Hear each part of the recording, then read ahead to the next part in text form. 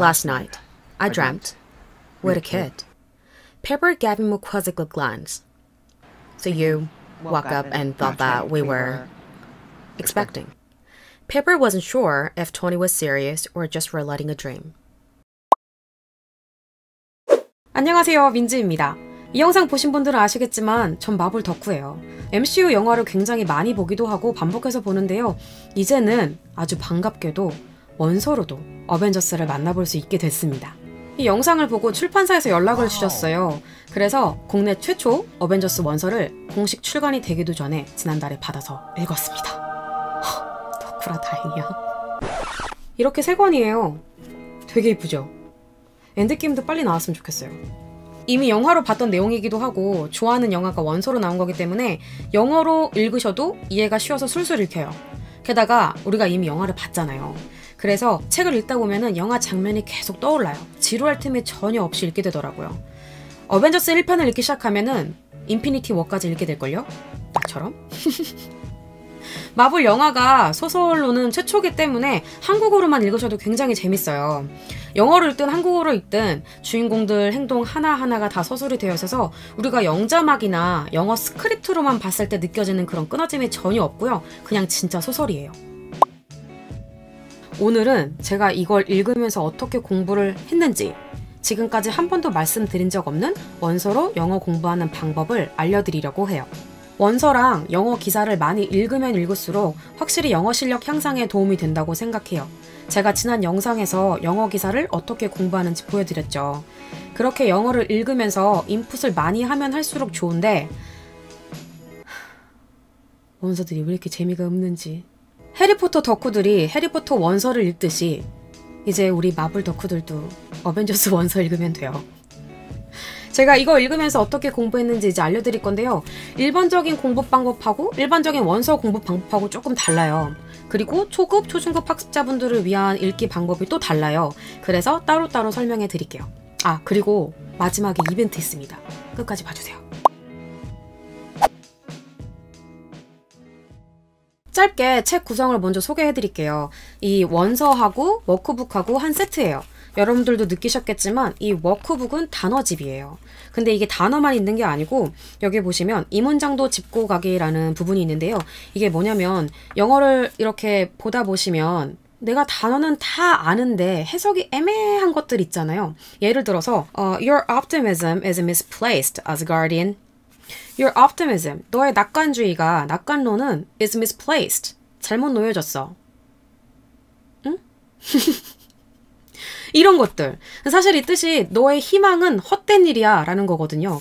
이런 것들을 설명해 놓은 파트가 있어서 저는 개인적으로 이 워크북을 먼저 훑어보신 다음에 원서를 읽는 것을 권합니다. 근데 이 워크북을 외우라는 게 아니고요. 내가 읽는 그 해당 챕터의 단어를 한 두어 차례 훑어보는 거예요. 그렇게 되면 어, 조금 익숙해져서 원서를 읽을 때 조금 더 수월해요. 이 원서는 한쪽은 영어, 한쪽은 한국어로 되어 있어요. 원서를 읽을 때 이런 경험들을 하셨을 거예요. 영어 원서랑 번역서 같이 놓고 번갈아 가면서 보는 거. 제가 안 그래도 몇 달 전에 리얼리티 트랜서핑이라는 책을 그렇게 읽었거든요. 근데 이 책은 번거롭게 그러실 필요가 없어요. 한쪽이 영어, 한쪽이 한국어기 때문에. 그래서 제가 보기에는 번역 연습을 하시는 분들한테도 굉장히 좋을 것 같고요. 그리고 영작 연습을 하시는 분들한테도 굉장히 도움이 될 거예요. 왜 그런지는 이제 곧 설명해 드리겠습니다. 저는 원서를 읽을 때 사실 단어를 일일이 찾아보지 않아요. 그 검색하다 보면 자꾸 흐름이 깨져서 집중이 안 되더라고요. 물론 사람마다 읽는 방법이 다 다르겠지만 제가 초급, 초중급 학습자분들께 추천해드리는 방법은 단어를 일일이 찾아보시지 마시고 어, 워크북을 먼저 읽으세요. 어, 워크북을 통해서 단어에 익숙해지시는 거예요. 아까 말씀드렸지만 이걸 외우는 게 아니고요. 그 단어에 익숙해지게 여러 번 좀 훑어보세요. 그리고 나서 원서를 읽으실 때 영어를 먼저 읽으시는 게 아니고요. 한국어 버전을 먼저 읽으시는 거예요. 한국어를 먼저 읽고 내용을 다 숙지한 다음에 영어를 읽게 되면 내가 모르는 단어를 맞닥뜨려도 이 단어가 무슨 뜻인지 유추할 수 있어요.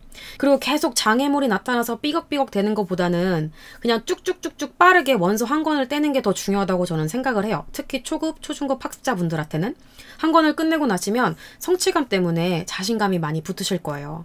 그리고 표현이 계속 반복해서 나오기 때문에 한 권을 끝내고 나면 내가 알고 있는 어휘가 굉장히 많이 늘어 있을 거예요.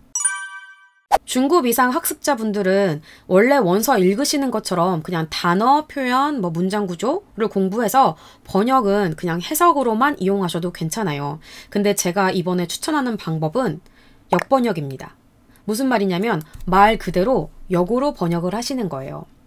어, 이때 모든 문장을 다 하는 게 아니고요. 보셨을 때, 아, 이거는 내가 언젠가 써먹겠다 싶은 거 있죠. 그리고 이거 참 쓸모 있는 표현이다 싶은 것 위주로 역번역을 하시는 거예요. 어, 영어 회화를 공부하고 싶으신 분들은요, 대화문 위주로 역번역 하시면 돼요. 저는 이번에 읽으면서 그렇게 공부를 했어요. 예를 들어 볼게요. 와칸다를 세상에 개방한다고 하셨을 때 이런 일을 기대하진 않았어요. 무엇 무엇 했을 때 무엇 무엇을 기대하지 않았다. 저는 이 표현이 굉장히 쓸모 있다고 생각해요. 무엇 무엇을 기대하지 않았다. 그리고 실제로 저도 굉장히 많이 쓰는 표현이고요. 저는 expect라는 동사를 이용해서 이걸 약간 정형화된 표현처럼 사용을 하거든요. I didn't expect that blah blah blah 이렇게. 그래서 저는 당연히 이걸 보고 I didn't expect that you would do this.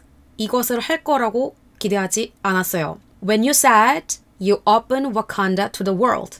와칸다를 세상에 공개하겠다고 말했을 때 이렇게 했는데 원서에서는 When you said we were going to open Wakanda to the world, this is not what I expected. 일단 저는 항상 I didn't expect that으로 시작을 했는데 기대하지 않았던 것을 앞에다가 쭉 먼저 얘기를 하고 This is not what I expected. 알았던 건데도 실제로 저는 그렇게 표현을 못했던 거예요. 그리고 또 다른 하나는 제가 아까 이렇게 말했잖아요. When you said you open Wakanda to the world. 그 원서에서는 When you said we were going to open Wakanda, we were going to 미래에 대한 이야기를 하니까 be going to를 사용을 한 거예요. 그리고 과거기 때문에 비동사를 were로 사용을 한 거죠. 저는 이 시제를 전혀 생각을 하지 못하고 you open Wakanda라고 얘기를 한 거예요.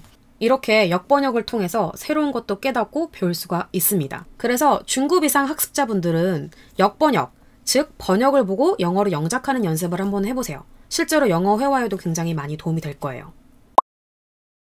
감사하게도 길벗 출판사에서 1인 1권 랜덤으로 총 10분께 책을 증정해 드린다고 합니다. 이벤트 참여를 원하시는 분들은 어벤져스를 왜 읽고 싶은지, 어떻게 공부할 것인지 아래 코멘트로 남겨주세요. 그럼 우린 다음 영상에서 만나요. 안녕!